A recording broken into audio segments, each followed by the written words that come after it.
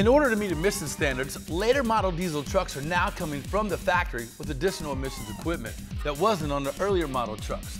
This means when it's time to repair or replace one of these components, a lot of diesel owners may be scratching their heads about how to make the repair, where to find replacement parts, or how much it actually costs.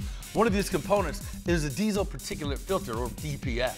2007 newer diesel engines are fitted with these filters to catch soot particles flowing from the exhaust pipe. Now the DPF is designed to regenerate by letting those particles settle into filter walls until exhaust temperatures reach a level which the particles can be combusted. But regeneration isn't the same as having a clean filter. At some point, just like any other filter, your DPF must be replaced. Luckily, you can have a cost-effective solution for a failed or damaged DPF like this one, a direct replacement from Dorman. Now these stainless steel DPFs are 100% new, no remanufactured parts, and they include all the gaskets, mounting hardware that you need to complete the job. Dorman's DPFs filter 99% of your engine soot particulates to provide better overall gas mileage and increased vehicle power compared to your old clogged DPF.